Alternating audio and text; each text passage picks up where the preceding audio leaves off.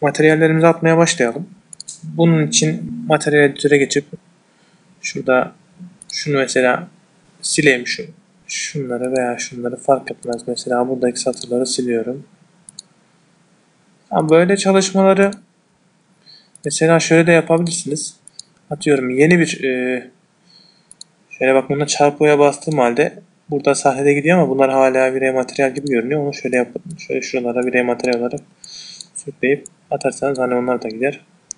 Ne diyordum? Ee, böyle çalışmaları e, yeni bir e, 3D SMAX sayfası açıp sıfırdan yaparsanız materyalleri böyle silmek zorunda kalmazsınız. Zaten materyal editör sıfır olarak gelir. Ve e, sıfır olarak geldiği için siz onları yaptıktan sonra, bütün materyallerini attıktan sonra e, sahnenin içine merge ederseniz öyle de e, bir çözüm yolumuz var. Bu şekilde de yapmanız aslında pratik olabilir. Önemli değil. Bu şekilde yapalım. Şimdi öncelikle fanusumuzu bir materyaline ayarlayalım. Fanus diyorum. Enter'e basıp.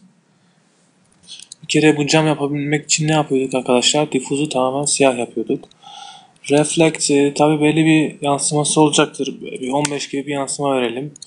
E, sonuçta hani bu fanus 15 gibi bir yansıma bunun için yeterli şu an için. Önemli olan burada reflect geçirgenliği tamdır bunun. Bir de şöyle bir şey söyleyeyim. Mesela suyun iyor değeri neydi? 1,517 gibi bir şeydi arkadaşlar. Şimdi bakın göstereceğim. Mesela e, suyun iyor değeri 1,33 pardon 1,33. Normal camın 1,517. Şimdi bu cam e, normalde biraz daha optik cam gibi. Yani fanusların camı biraz daha kalın ve optik cam gibi olur. Hani e, bu da şöyle diyeyim mesela. Bakın iyor değeri e, küçüğe doğru gittikçe mesela bakın e, buza geldiği zaman daha böyle bir yoğunluk hissi kazandırıyor. Hani ben de bunun iyor değerini 1.6'dan 1.4 gibi bir şey yapacağım. Biraz daha böyle geçirgenlik, kırılganlığı farklı olsun yani istiyorum. Şöyle 1.4 gibi bir şey yapayım. Şöyle burada önemli olan camla cam yaparken ne demiştik arkadaşlar? Maksimum depth ayarları. Bunlar neydi? Karşılıklı iki ayna iç içe koyduğunuz zaman kaç kere e, görüntüsü birbiri içinde yansır. Bu ayar kaliteyi, camın kalitesini tamamen etkiler. E, Tabi e, kaliteyi etkileyen şey render'ı da etkileyecektir ama buna 10 verebiliriz. Şu an için bu camı kullanmakta bunun için cömert olabiliriz. Bunu seçip şöyle materyali buna atmış oluyoruz. F3 ile bakalım. Zaten materyal direkt e, şeffaf hale geliyor. E, attığımızda şöyle gördüğünüz gibi materyal yokmuş gibi görünüyor ama materyaliniz var tabi burada. E, şu anda F3'e basarsanız görürsünüz. Gördüğünüz gibi bu cam materyalini yapmış olduk. Ha, bir de unutmadan Fresnel Reflection'da seçelim ki tabi içeriye doğru yansıması içeriye düşsün. İçerideki dışarıdakini görebilelim. Bunu hallettik. Fanus camı diyebilirsiniz mesela. Enter diyeyim. Şimdi şu, şu da su. Değil mi? Bakın şu içeri düşecek su olacak. Tabi. Ee, bunu hemen ayarlayalım. Şöyle su materyalini yapmak için arkadaşlar.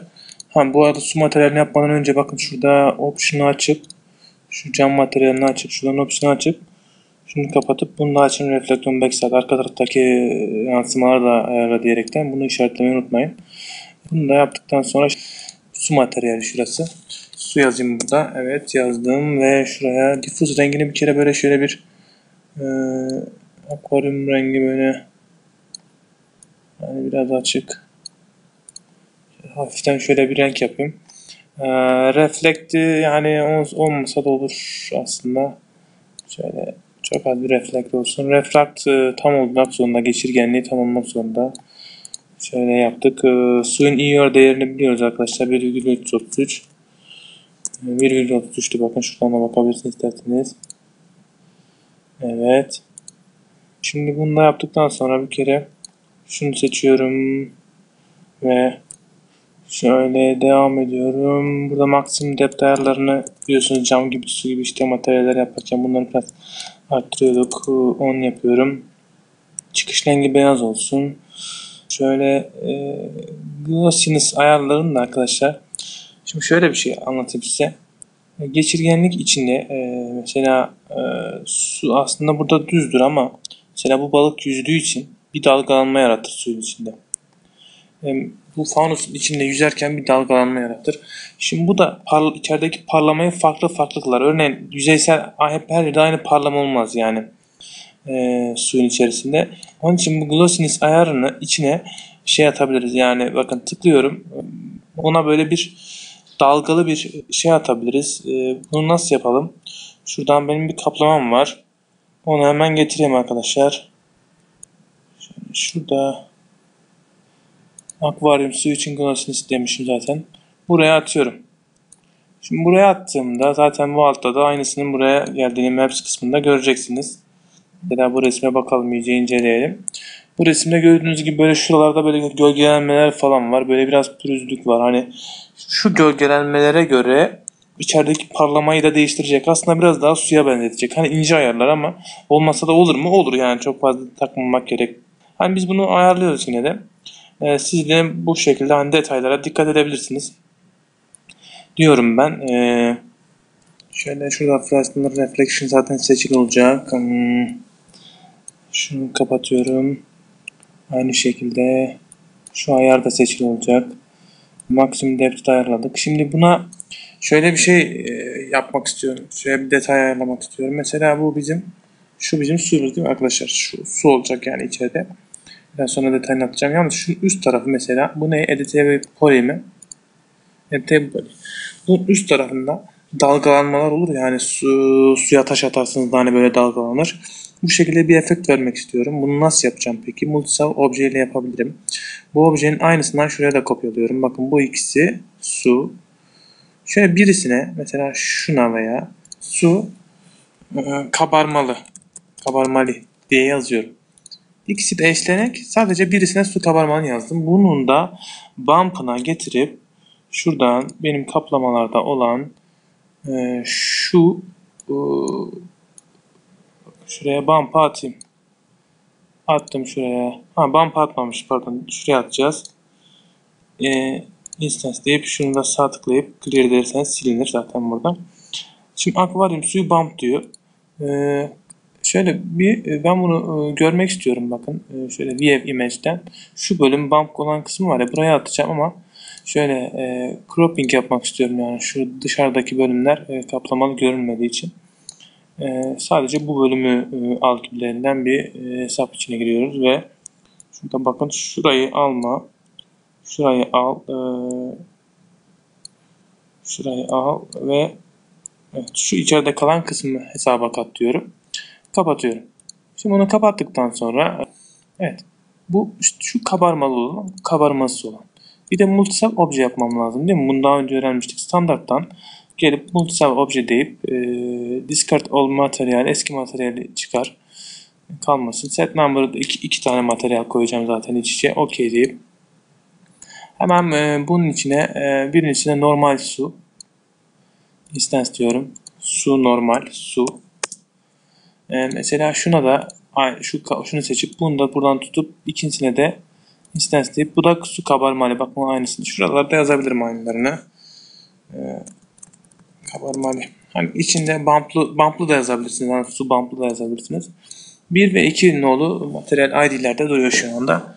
Gelip bunu e, multisub objeyi gelip e, su olacak nesnenin içine atacağım bakın şimdi. E, buraya attım. Şimdi attım ve gitti. E, şöyle e, görüyorsunuz dışarıda biraz bir yansıma. Şunun ön tarafına arkadaşlar üst tarafına bütün ID'lerin hepsini seçip arkadaşlar e, hepsini bakın şu anda şöyle Seçildi mi? Seçildi. Ee, bütün hepsine gelip buradan şu yan taraftan önce bir ne yapalım? Ee, Z dahili 1. Normal. Bütün hepsinin 1 oldu. Sonra bu kabarma sadece üstte olacak arkadaşlar. Yani üstteki poligon olacak. Gelip buradan poligon seçiliyken tekrar şu üstteki poligonu şöyle seçiyorum. Şimdi bu üstteki poligonu seçtim. Sadece bu üstteki poligona kabarmalı olan, bumplı olanı uygula diyorum. Bakın e, bunu da gelip buradan e, set id 2 diyerek enter'a basıyorum. Üstteki de ayrı bir materyal oldu şimdi. Bunun çalışmana bakalım arkadaşlar. Çalışmayı render ederken üst tarafında bakalım olmuş mu olmamış mı diye.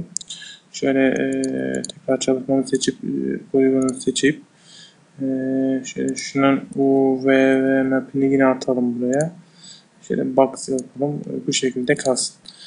Ee, şimdi bunun e, tabi su materyalini de ayarladık. E, su da içeride. E, camını ayarlamıştık zaten. E, Şurada ne kaldı arkadaşlar? Taş. Taş olacak bir bölüm olacak tabii bir bölüm var burada. Ee, bunun materyalini hemen ayarlayalım. Gelip M'ye basıp şurada e, virey materyalden e, hemen e, ne yapıyordum? Şurada taş olacak şeyi seçeceğim. Bunu da hemen e, şurada görünüyor şu anda. E, bunun e, hemen gelip diffuse kısmına şuraya yazdık. Boş mu bu? Ha, bu multisave obje. Şu da taş diyelim. Taş yazalım. Enter'a bastım. Şuradan hemen e, gelip seçtiğim resmi diffuse olarak atıyorum buraya. Diffuse olarak attıktan sonra gelip bump'ına geliyorum. Bump'ına da şunu diffuse olarak atıyorum. Evet. Şimdi res bir e, nesneye bakacağım. Nesnemde belli bir yansıma olacak? Kesinlikle olacak. Geçirgenlik olmayacak. Yansıması şöyle 10 kadar olsun.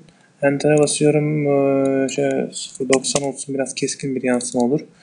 Ee, taşlar yansır. Ee, çok keskin olmuş. 0.80 olsun bakalım.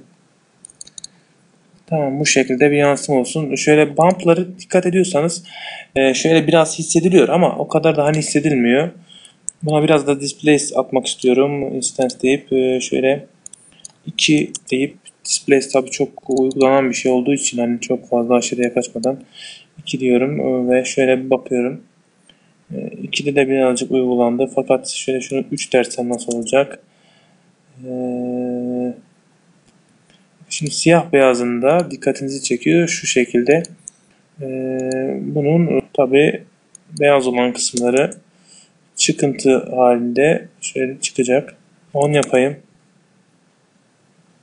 Evet biraz daha bakın şekiller e, daha çıkmaya başladı. E, 20 yapayım. Yani biraz bakalım durumuna. Şu bump'unu da arttırayım. 80 yapayım mesela.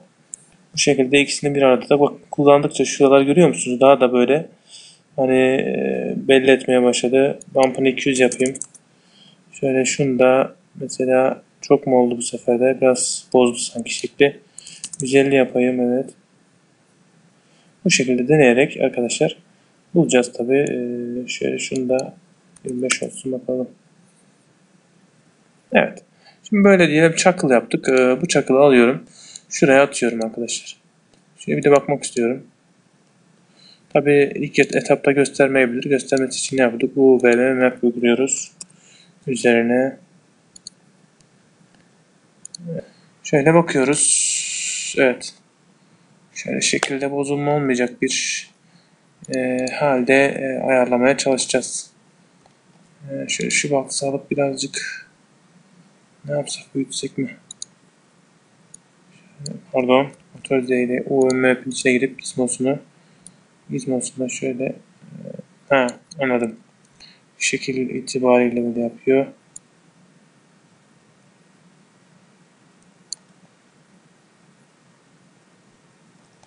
Evet şimdi biraz daha sanki düzeltti gibi.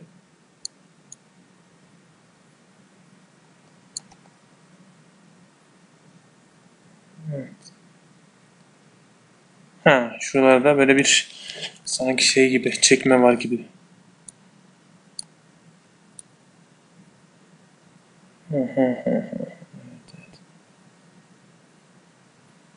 Çok önemli değil aslında. Çakıl karışık görünen bir nesne olduğu için.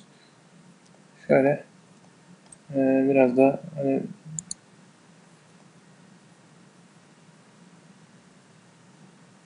yani bu da oldu aslında bakarsanız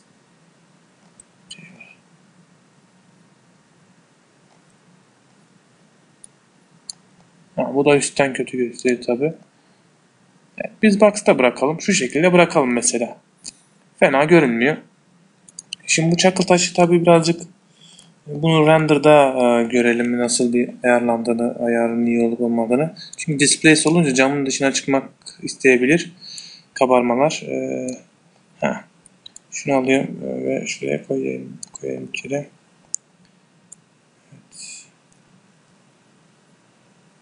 iç tarafına yerleştirdim. E, suyu da alıp e, şöyle